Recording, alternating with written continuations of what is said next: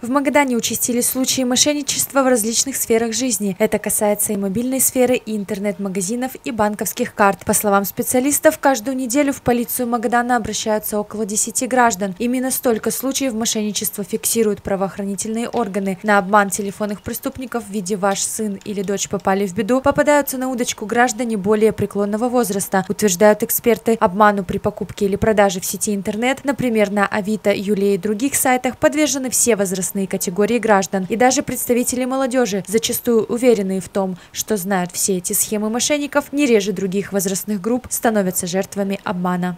Вы э, как продавая можете стать жертвой мошенника, так как покупая можете стать жертвой мошенника. Тоже Авито, да, они создали э, безопасную сделку. Но люди у нас по своей, э, так скажем, неграмотности некоторые переходят на другие сторонние сайты, которые предоставляет злоумышленник для совершения вот этой сделки.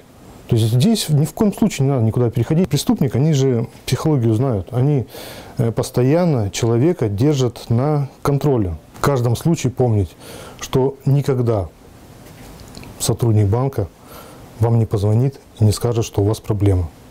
Если вам вдруг позвонили из банка и сообщили о неполадках с картой, необходимо выслушать информацию молча, не паниковать и положить трубку, взять свою банковскую карту, перевернуть ее. Там указан номер телефона. Следует позвонить по нему специалисту банка, который подробно расскажет, что нужно предпринять. При продаже или покупке в интернете никому никогда не сообщайте свои персональные данные, утверждают сотрудники УМВД России по Магаданской области. Специалисты призывают граждан всех возрастов быть бдительными и не поддаваться уговорам незнакомцев.